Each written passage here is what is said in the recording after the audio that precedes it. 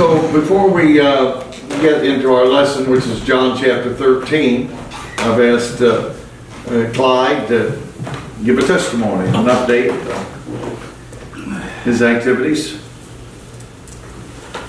Well, I must say, uh, I appreciate the invitation to come to your Bible study and the opportunity to know you from the time we were probably in the sixth grade.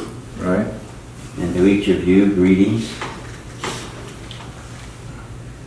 I'm extremely grateful for my mother, who taught me the scriptures and to know Jesus Christ from a young age. And uh, even though some challenges through the teenage years, and then at General Motors, a man named Harvey Clay, a black man, said to another fellow worker, You're going to hell. I said, Well, Harvey, you shouldn't tell people they're going to hell. He said, Well, you're going to hell too if you don't change. that really impacted me. And I've learned that the beginning of knowledge is the fear of the Lord, same as the beginning of wisdom. And from that, we transitioned to the love of God and want to share Christ. And that's what I was doing across the ISU stadium when Jed rode by on a bicycle with hair down his back and covered his face. And I couldn't really recognize him, except I'm sure it was the Holy Spirit that had me call his name. And he came back, asked what I was doing. I said, Well, I come over on the weekends to share Christ with the high school students and college students here on this parking lot. So I spoke with him about Christ for a few moments. We went to Burger King and shared the plan of salvation. He was really into psychology and he kept trying to rebut whatever I would state. But the Holy Spirit helped us and yet I thought that Jed was probably just joking when I said, well, you're ready to receive Christ? He said, yes. And I thought, ah, he's not ready, not his attitude. So I said, if you're sincere, let's put your bike in the trunk of my car and we'll out to Raccoon Creek and I'll baptize you tonight into Christ. And so he said, okay. Well, surprisingly, we went out there and there were a few people camping there. It was probably about 12, 15, 12, 30 at night. And so I remember baptizing him into Christ and when he was risen, he extended his hands in the air, began praising God, and I said, well, maybe this is real. So we went home and my son Brad had bunk beds and he was sleeping in the top bunk and Jed was in the lower bunk. And probably about three o'clock in the morning, my little boy woke up and he looked in that bed and he saw this monster. and he came and jumped in my bed and said, That is a monster in my room. And at first I wondered who the monster was, and I recalled it was Jed that was staying there. So Jed and I had some wonderful experiences, and then Jed was coming to our church. We would go out and share Christ, I think probably every Monday and Wednesday. Mm-hmm. And uh, then he kind of branched off and started speaking where he could. The rest is history. Uh, I can take just a moment to deposit a thought. I'd like for you just to consider with me today what it would be like to live in paradise. You wouldn't need EPA because the water is extremely clean. All food's organic. You never lock a door, never a pain, no fear of disease, never heard of death. All your thoughts are perfect. Most wonderful marriage. You live in this palatial palace, as it were, and everything is magnificent. It's marvelous, phenomenal, fantastic. Never one day is there a disaster, any destruction. No sorrow, no sadness. And then one day, this unusual creature speaks. And this lady responds. And upon doing so, she encourages her husband to participate with her. And at that time, paradise is lost. What's so amazing about that You have a perfect couple in a perfect place, having a perfect life. And one evil thought and a few wicked words changed the course of history for humanity forever. Now, if a serpent could speak to a lady, which would also cause the fall of man, and they being perfect, what hope would we have against such evil?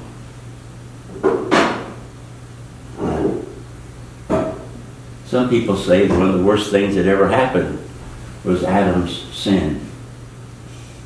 Well, I beg to differ. The best thing that ever happened was the fall of Adam. Because Adam was a living soul. He was the first man.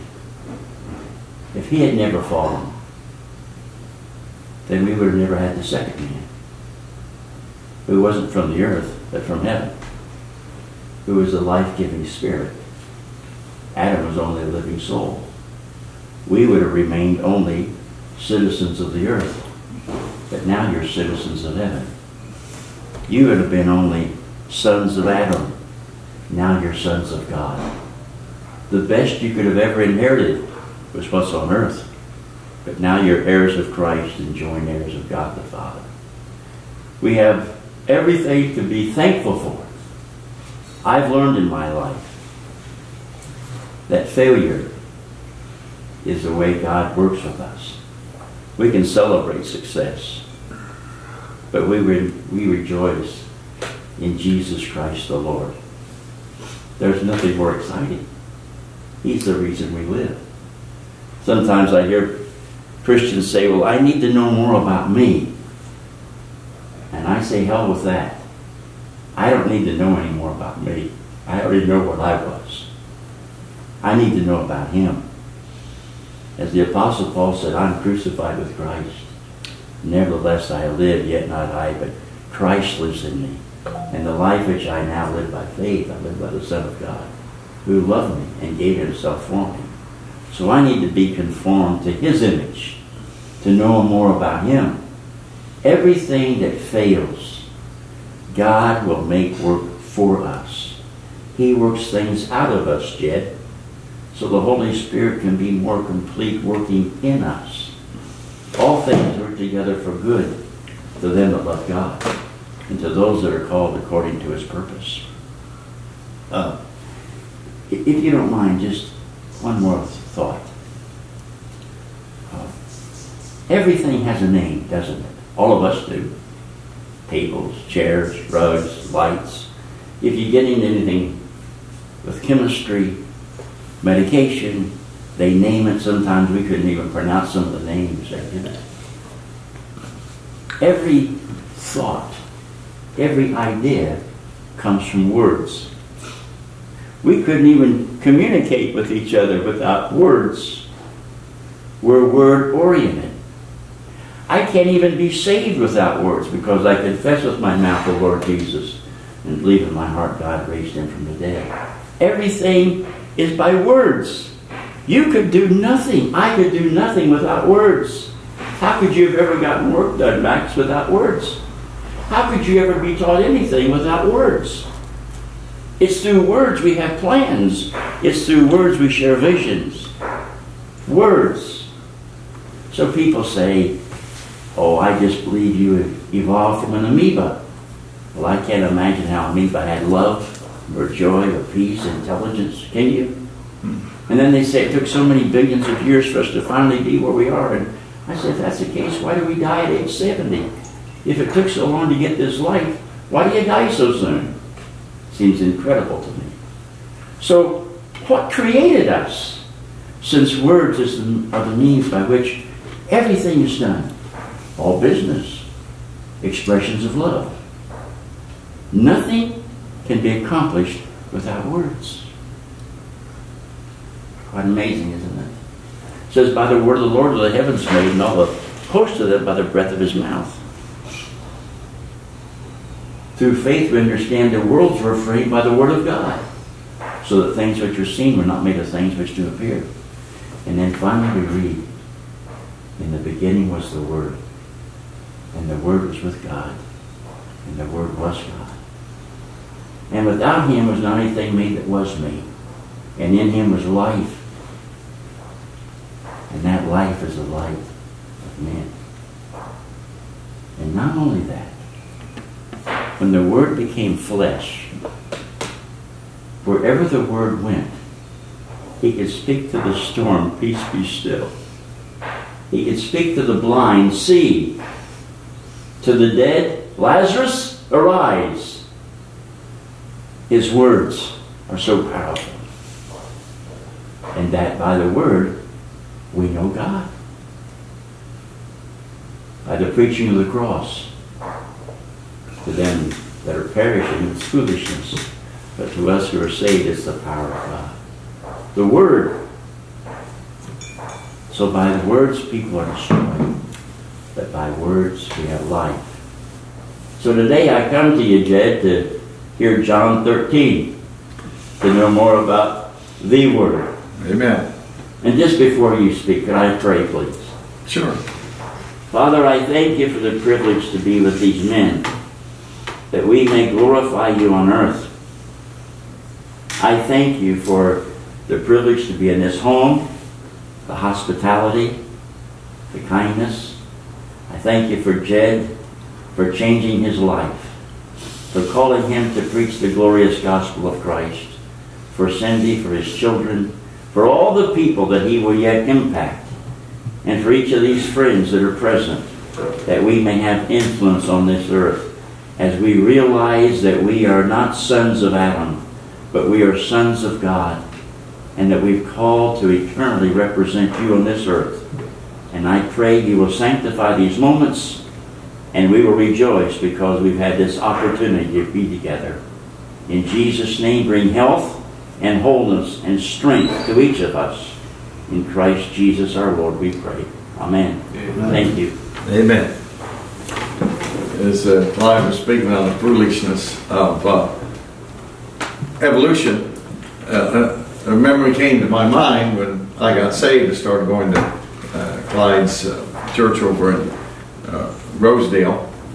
And his parents typically would uh, pick me up on Sunday morning because I just had my bicycle, a little bit far to ride my bicycle.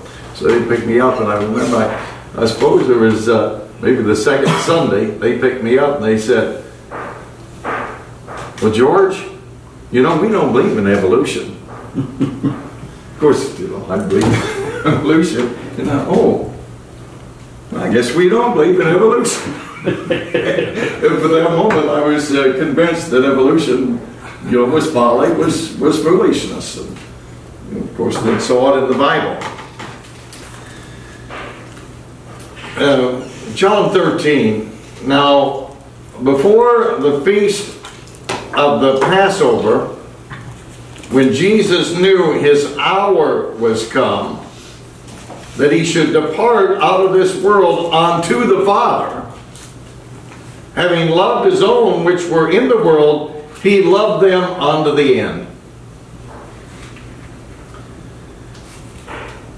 When Jesus knew that his hour had come, we, we see that expression, his hour, coming uh, a number of times in, in the Gospel according to John. We call Jesus' first miracle, turning the water into wine.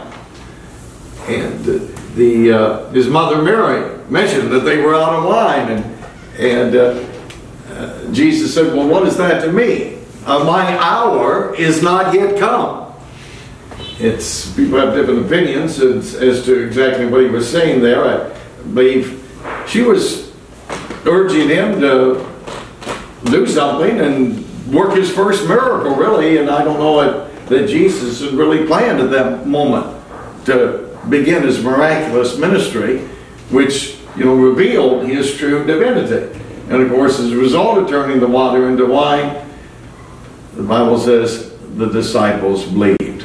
There was convincing to them the miracles which Jesus did. So now is hour come after three years to depart out of this world back unto the Father, from whence he had come. He's constantly reminding his disciples he had come down from heaven, having loved his own which were in the world, and he loved them unto the end.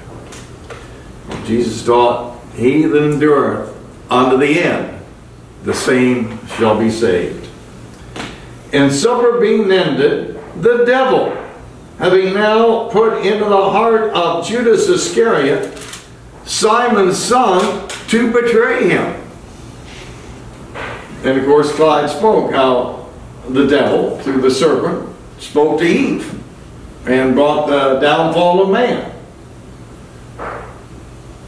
The devil's real, and he's a deceiver, and he goes about as a roaring lion whom he might destroy. He was a murderer from the beginning, and a liar, and abode not in the truth. We've already learned that from the Gospel according to St. John. The devil's real. He speaks to us. And I speak to the devil. Hmm. Get thee behind me, Satan. I rebuke the devil. We need to learn to speak to the devil because he will speak to us. He will try to deceive us. He will vex us. And we need to speak to him. And he will flee at our words.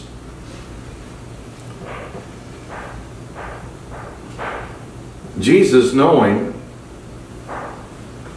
that the Father had given all things unto his hands, and that he was come from God and went to God, he rises from supper, laid aside his garments, and took a towel, and he girded himself. After that, he poured water into a basin and began to wash the disciples' feet and to wipe them with the towel wherewith he was girded.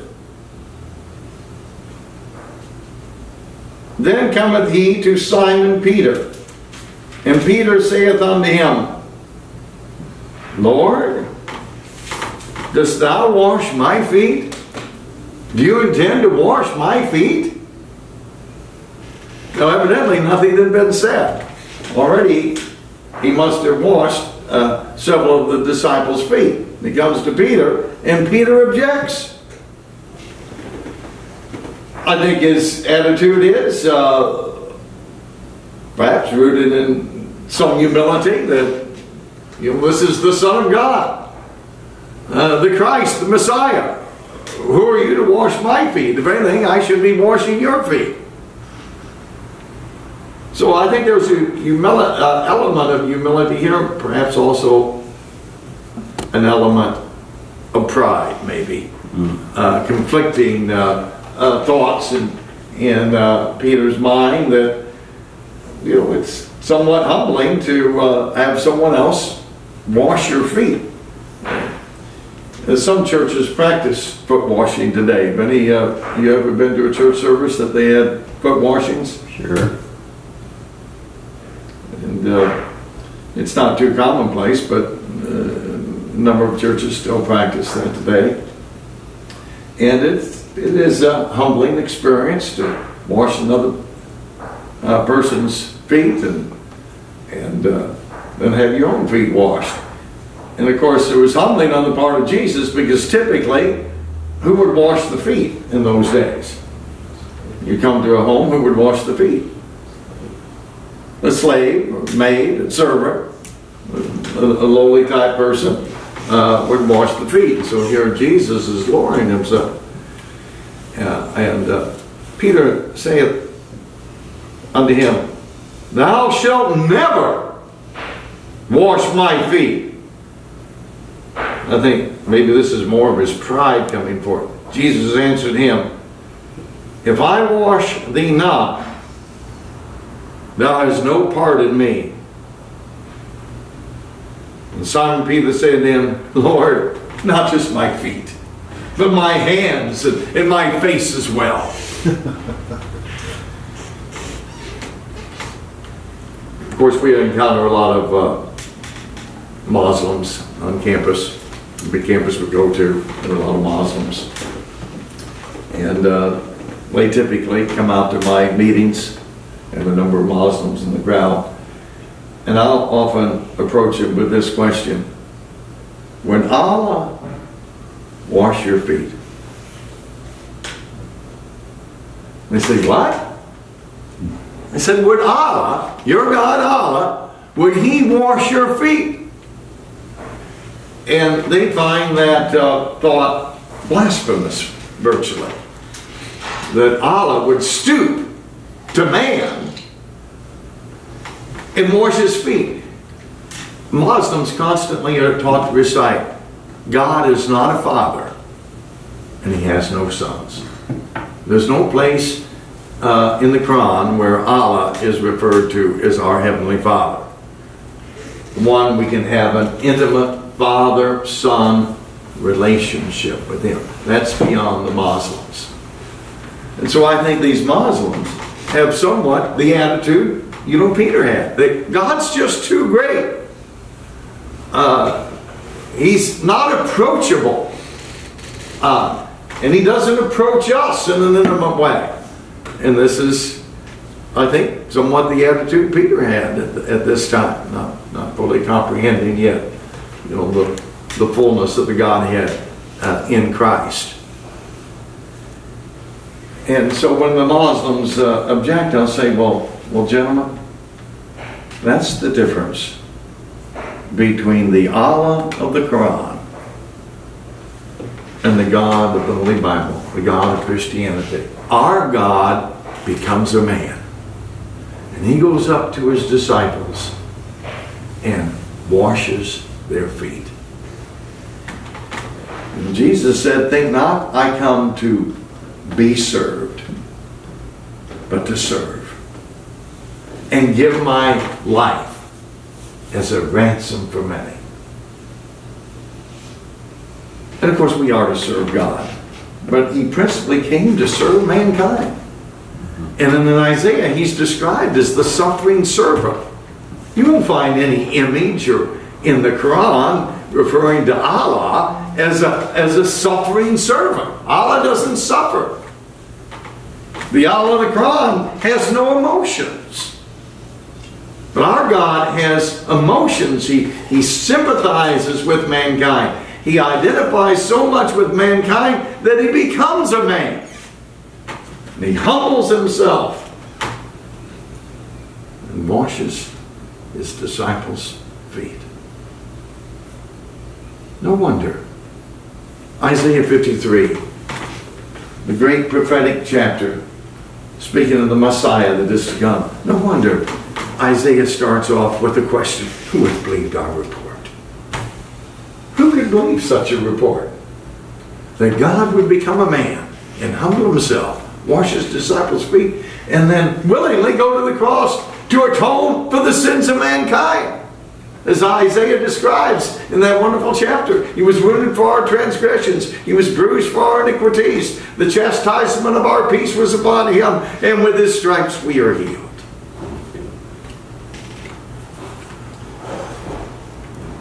So that's one thing I want to get across, of course, to the students, and we need to all understand this is revelation of God's character.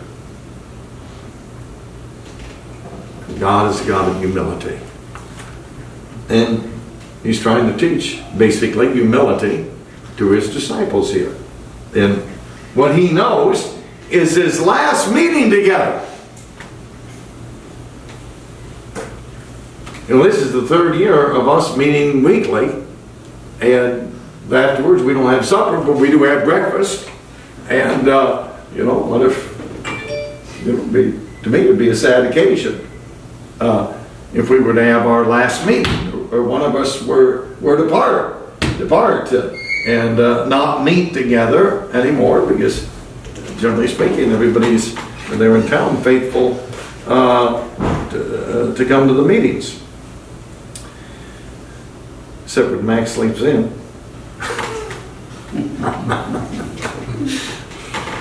okay. Uh,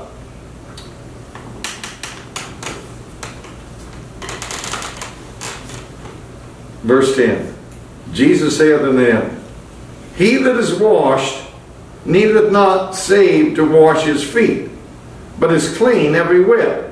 and you're clean, but you're not all clean. So evidently he understands that they perhaps have bathed before coming to this Last Supper. But they're walking around in the dusty city streets and with sandals and their feet get dirty. So they were basically clean except their feet got dirty.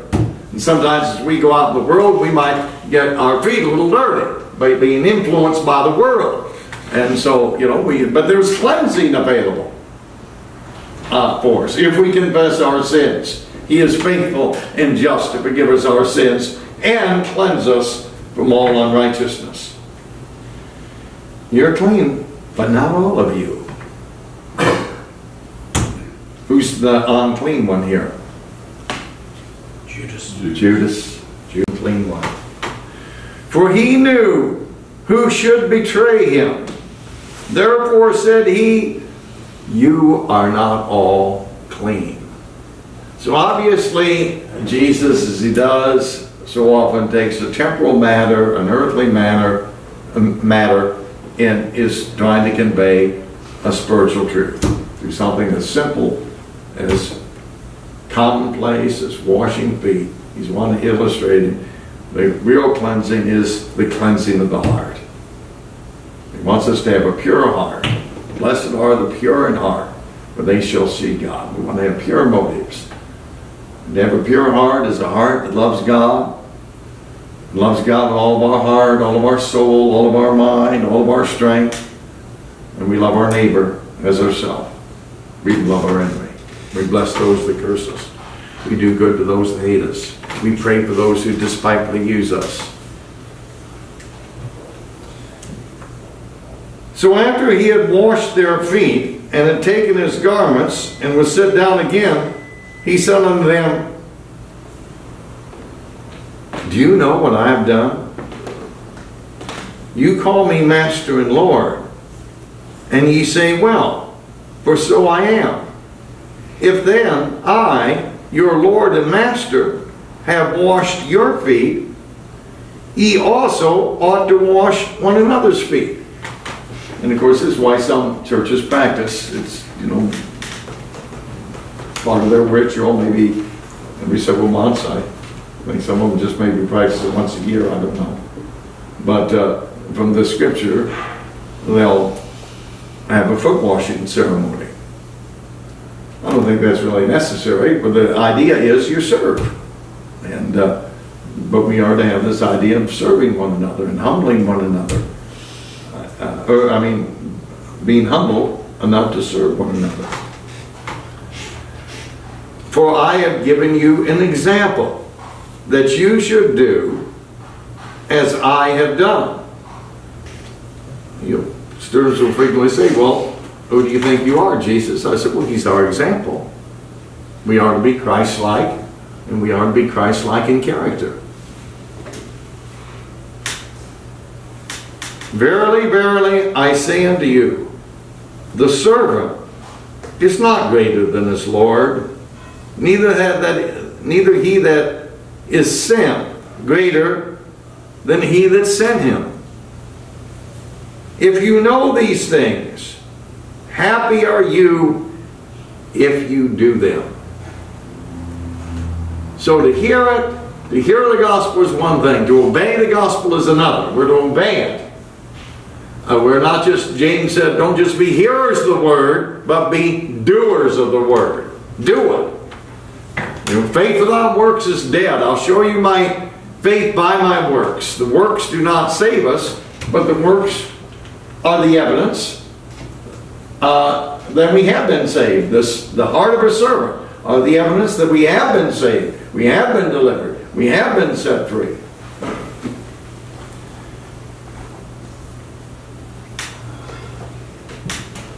And that's where true happiness is. It comes through serving others, living for others. And that's when we generally feel best about ourselves and feel good about ourselves when we've done something to help others that cost us something. But at the end of the day, we have a sense of well-being, a clear conscience, and uh, we made a difference today. and then think of the times, uh, hopefully it's all in the past, when we've all taken advantage of someone, exploited someone, know, we feel bad about ourselves. You know, Jed, I just think of people that bring others into their homes and make them sons or daughters. My mother did that with a young man named Donnie Melvin at the orphanage. Uh-huh. I think of, of Vern Gibson bringing Larry Lowe into your home, making him as your brother, treating him with, my goodness. And you thought of Larry, you just thought of Max. Yeah. And when we were Glen, I mean, you guys were just, that's quite a powerful thing when you bring someone into your home and say, your family. As Jesus Christ has brought us into his home and said, your family. It's really a, a wonderful thing in serving others, and giving our life that others may benefit from it. Yeah. Amen.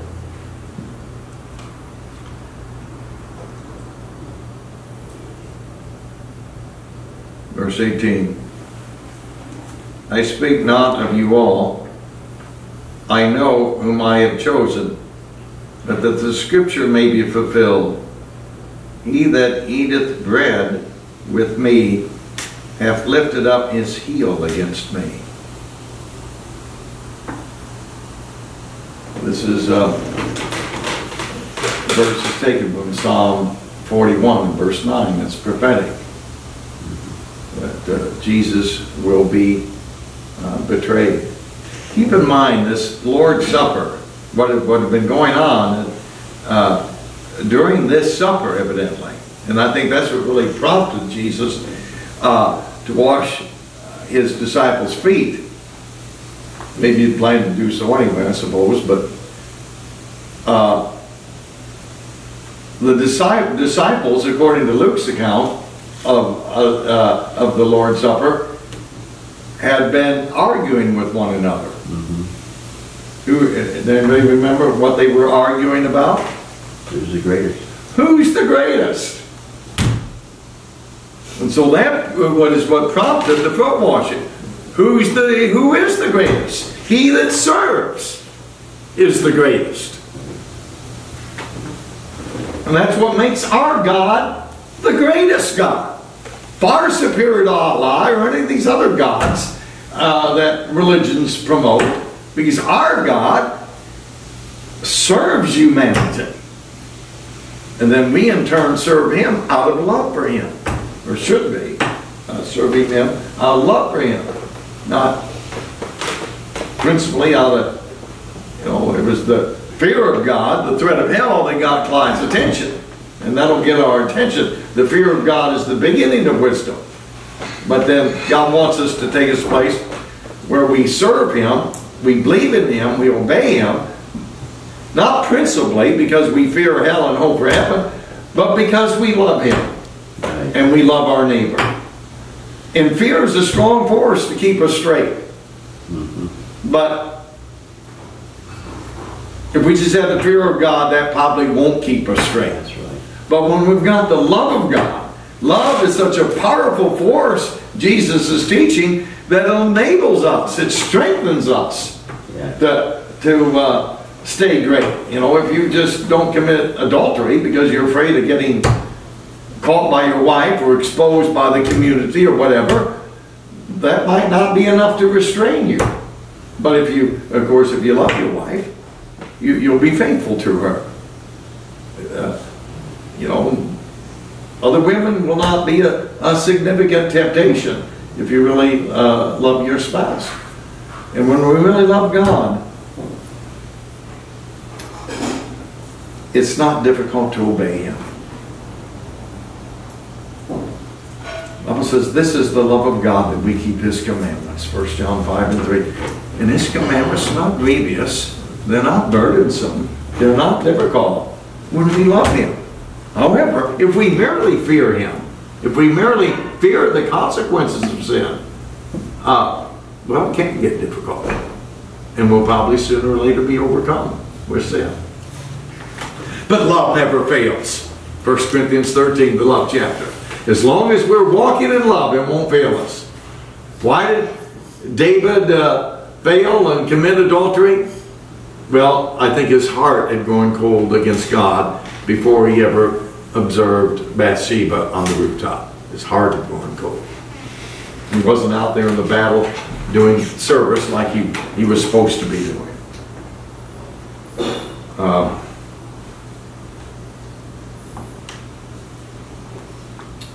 verse 19. Now I tell you before it come to pass that when it is come to pass, ye may believe that I am he. I am he. Who? Who's the he? Well, he says, that you may believe that I am he. Who's the he's referring to? I am the Almighty. In the beginning was the Word. The Word was with God. The Word was God. The same was in the beginning with God, and all things were made by Him. And without Him was not anything made that was made. And the Word became flesh and dwelt among us, and we beheld His glory, the glory of the only begotten of the Father, full of grace and truth. He is the Almighty. He is the one that spoke to Moses in the burning bush and said, I am, that I am, I am He. He's affirming His deity here. Verily, verily, and truly, truly, I say unto you, he that receiveth whomsoever I send receiveth me. And he that receiveth me receiveth him that sent me. You know, I'm very thankful for this verse 20. Because, you know, Christians ought to know this verse. You talk about hospitality, take it in Orleans.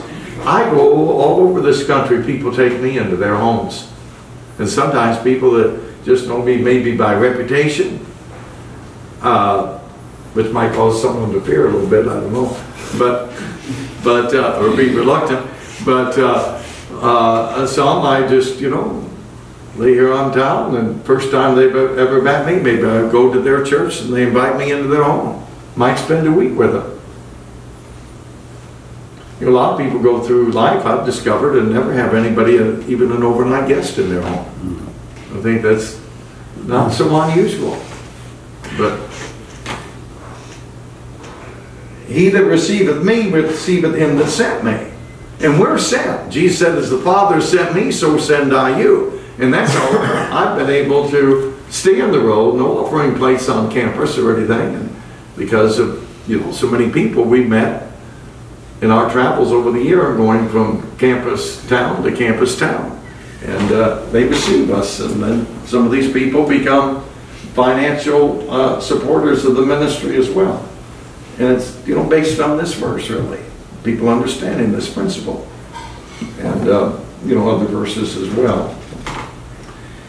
Uh, when Jesus had thus said, he was troubled in spirit and testified and said, Verily, verily, I say unto you, one of you shall betray me. All right. We all know this painting, don't we? Leonardo da Vinci, The Last Supper. Now this uh, Leonardo uh, started painting this in 1495, completed it in 1498. Now this painting is not in a museum. It's not in an art museum. It's hanging in a church. It, well, it's not hanging. It's painted on a wall in uh, a church in Milan, Italy. And uh, you say, well, this, this picture looks kind of faded. Well, the real thing is real faded. This is, you know, hundreds of years old. And they say some of the, it's been, you know, redone by uh, professionals a number of times uh, over the centuries. Uh, they say some of the real paint still exists. I don't know. I, I come question that. Perhaps it does. But, you know, the Catholics are pretty famous for their relics and, and that sort of thing has become almost a, a, a relic. But, uh, um, there's a lot of interesting symbolism uh, in here. Uh, what are the three windows in the back symbolize, would you say? Father, Son, and Holy Spirit. Father, Son, and Holy Spirit, the Trinity. And notice the, the groups, how the disciples are in groups of three. Three, six, nine, and 12. Again, a reminder uh, of the Trinity. Now, there's uh, Jesus, and if you notice, the finger of Jesus is more or less in a triangle. Again, the triangle is uh, representative of, of, uh, of the Trinity. You didn't know I was an art critic, did you? So, uh, and uh, so who can identify uh, some of the disciples there?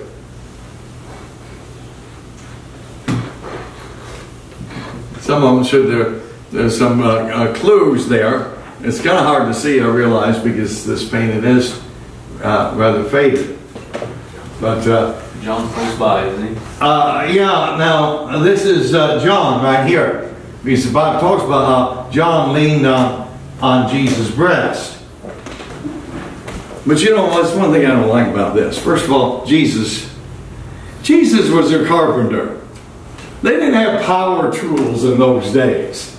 You know, he would have been a rugged man.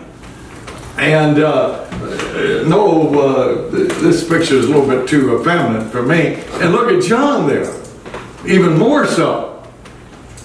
John and his brother, uh, James, two fishermen. And again, you know, fishermen, you know, they had to, you know, pull in those fish from those nets and so on. That's hard work. They would have been uh, muscular men too. They wouldn't have been, you know, soft. And what were the nicknames of, uh, of, of these two brothers? Sons of thunder. Sons of Thunder. Well, you're not going to call some pansy type a, a, a son of thunder. But so there are aspects of this painting I don't like, but then there are good aspects to it. I think the ex- expressions uh, on their faces is good and it's revealing. I think it's highly unlikely, you know, they sat at the table like this. You know, this is to get the message across. You know, if there was a round table or a rectangular table and the people on each side, you'd just see the backs of some of the They would have been sides. reclining. Yeah, yeah. That's what they, that's how they, they were reclining. All right, uh, you see, uh, right here is, uh, Judas. Notice Judas is lower than any of them, and he's got a bag in his hand. What's that bag represent? Silver. The, yeah, the 30 purses of silver that he betrays Jesus with. Or some have suggested maybe it's also an allusion to the fact that what was Judas's uh, uh, main job in, in on Jesus? We, we call his staff today. Uh, the treasure. yeah, he was the treasurer. So Which one is he? he carried the bag right here, uh, right here. That's Judas. Okay. And uh, notice like One of them has a knife. Who do you suppose has the knife? Here. Peter has the knife.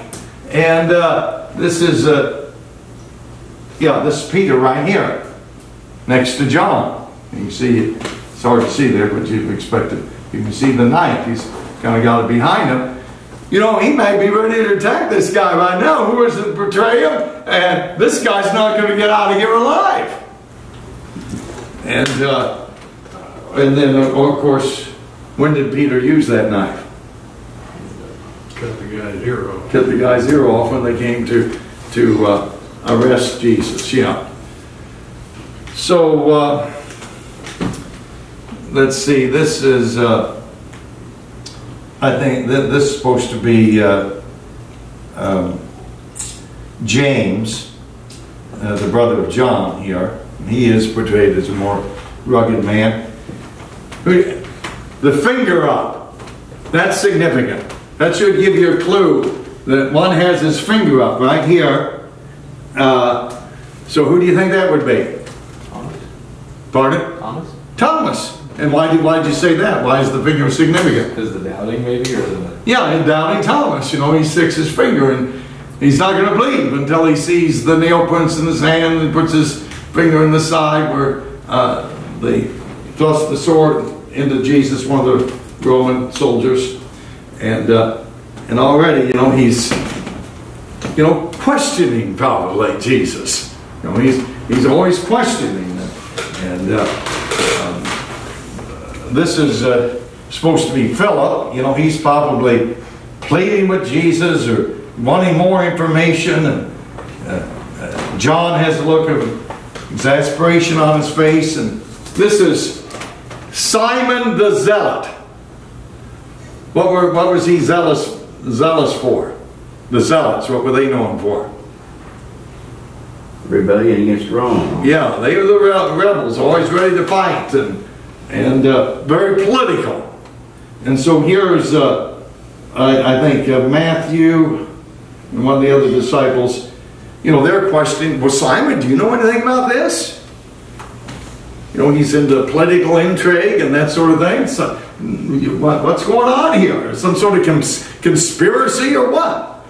So, uh, there's a lot to, However, one thing quite interesting is they didn't really know themselves who they were by saying, Is it I? right. Right. I still find that find it amazing. Even questioning themselves, is it I that will betray you? And here's one of them, you see, he's kind of like this. hmm And uh, maybe they fear one of them will. And who knows? You know, Peter or, or Judas succumbed to the temptation, but some of the other disciples could have well been tempted. Thank God they did not give in to the temptation, but they maybe had been tempted to betray Jesus themselves. Because they still had in mind, you know, this, what's all this talk about death? my hour is come. Uh, you know, they were still looking for a Messiah that would come, and uh, they were under occupation of the Romans and get rid of the Romans and bring them victory and uh, uh, ruling and reigning. So, verse uh, 21.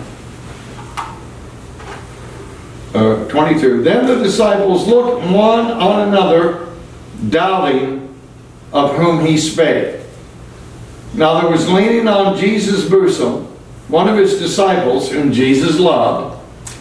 Who would that be? Of course, John.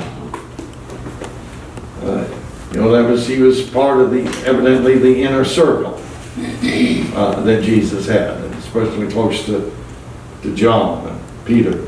Simon Peter, therefore, beckoned to him that he should ask who it should be of whom he spoke. So maybe John was kind of the spokesman, you know, uh, because he was very close. Of course, Clyde, you know Charlotte well. When we were growing up, uh, somehow the, the girls got the attitude that uh, Charlotte was my favorite. Uh, I didn't particularly have a favorite. So if they wanted something from Dad, Charlotte was supposed to be the spokesman.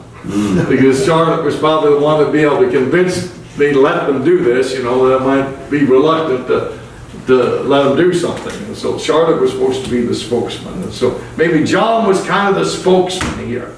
Uh, we need more information. Uh, John, you talk to Jesus. We need more information. Who's going to betray him? What's happening?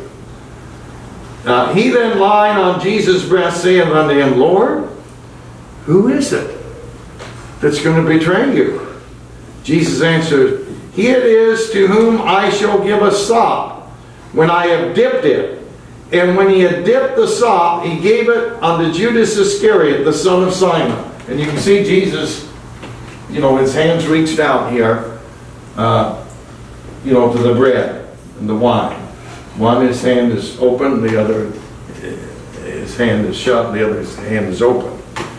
But I wonder, what is about uh, the, this account of the Lord's Supper that uh, John's account is different than the account of the Lord's Supper in Matthew, Mark, and Luke? What's the difference? Something left out here. Well, Holy Communion. You know, he does, uh, John doesn't bring out the Holy Communion, you know, sharing, actually sharing the, the wine, the blood. Uh, but John evidently wrote his gospel last. And he lived the longest. And, and uh, so John covers things that, that Matthew, Mark, and Luke don't cover. I mean, they all cover the same thing and you say exactly the same thing, why have four, four accounts? So uh, John brings in uh, some things that the, the uh, others do not. The foot washing is what he brings in. Matthew, Mark, and Luke don't mention the foot washing uh, connected with the Lord's Supper. And after the sop, Satan entered into him. First, Satan put it into his heart to betray him. And now, Satan actually evidently possesses Judas. And he's gone beyond the point of no return, evidently now. Satan has actually possessed him. And uh, and after the sop, Satan entered him. Then said Jesus unto him, That thou doest, do it quickly. He's Jesus now resigned to going to the cross. Uh, now no man at the table knew for what intent he spake unto him. For some of them thought, because Judas had the bag, that Jesus had said unto him, Buy those things that we have need of against the feast, or that he should give something to the poor. So, you know, Jesus still doesn't let everybody know who the traitor is. Evidently, John must have heard it.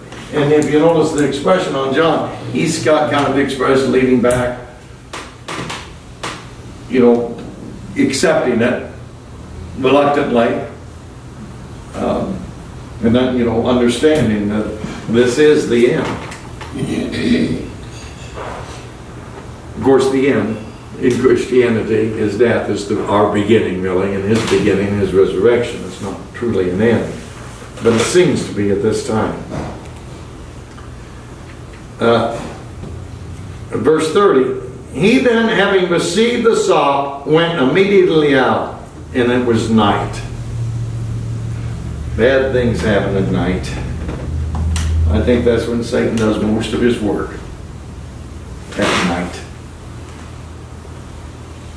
Uh, Therefore, when he was gone out, Jesus said, Now is the Son of Man glorified, and God is glorified in him. And God's glorified in the cross. Isn't that amazing? Who would believe our report? God is glorified in suffering.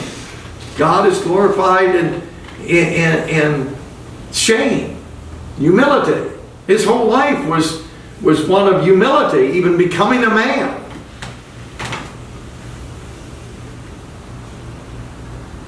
That's how God is glorified. And God's glorified when we suffer for His sake.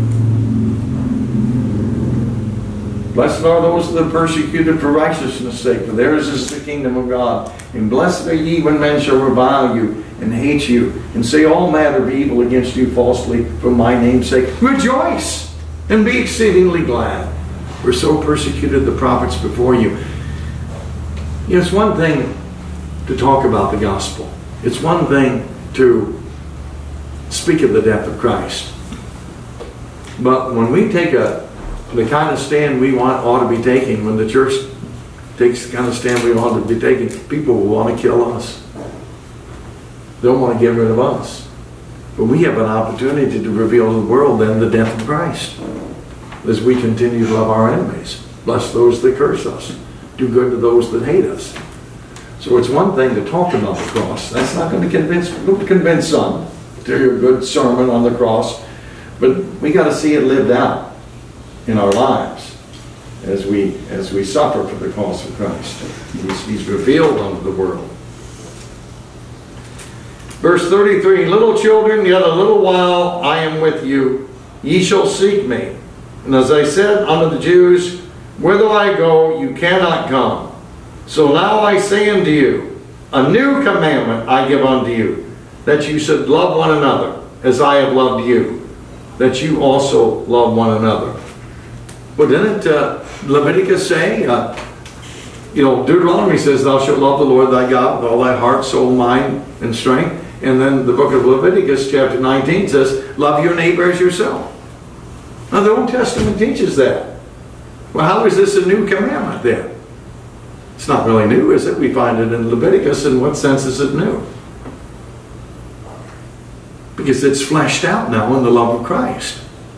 that uh, Christ really shows us what it means. Unlike, you know, that Adam's sin gave Christ the opportunity, God the opportunity to show him, reveal, really reveal his character, really reveal his nature to us by sending his son into the world. Humbling the Son, humbling the Father.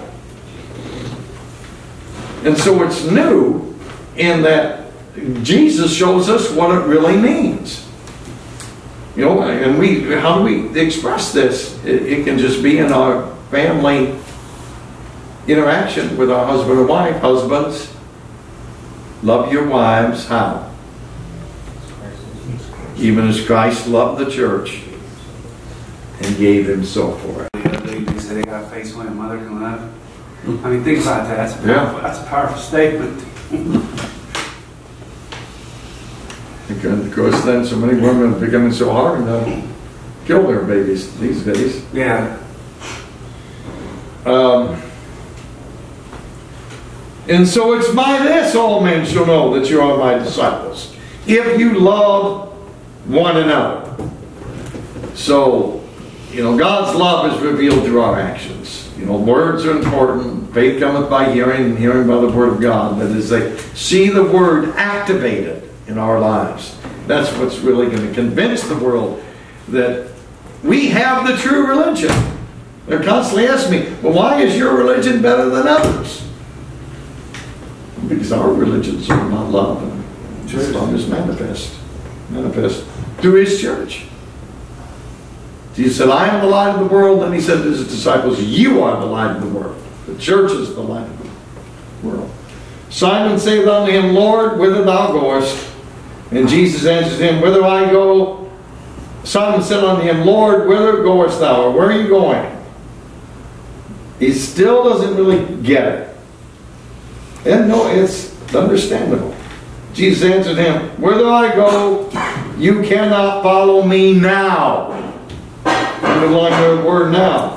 But thou shalt follow me afterwards or later. And what does church tradition tells us what happens to Peter in Rome? He's crucified upside down. Initially, he flees Rome, church tradition, and then he sees Jesus in a vision as he's walking the Appian Way out of Rome. And he says, uh, uh, Quo vadis? Remember the movie Quo vadis? Means, uh, uh, where are you going, Lord? Peter asked. And Jesus, says, I'm going to Rome to be crucified again. Well, Peter's really convicted. And so Peter goes back to Rome. And of course, he's immediately arrested. And then he says, I'm not worthy to be crucified like my Lord. And uh, you hang me upside down. So he wasn't quite ready for that yet, though. I mean, he, he denies the Lord. He's not ready for it. Yeah, he thinks he is, but he's not. And uh, he says, Oh, Peter says, Lord, why can't I follow thee now? I will lay down my life for thy sake. Well, he's speaking prophetically, but he's not ready yet to do it. He thinks he is, but God's still going to do a work in him. And Jesus answered him, Wilt thou lay down thy life for my sake? Verily, verily, I say unto thee, the cock shall not crow till thou hast denied me twice. Thankfully, Peter repents, but Judas goes out and hangs himself. Judas' soul is damned, Peter's soul, of course, is saved. Bo, would you ask the blessing on the food and conclude our study in prayer, please?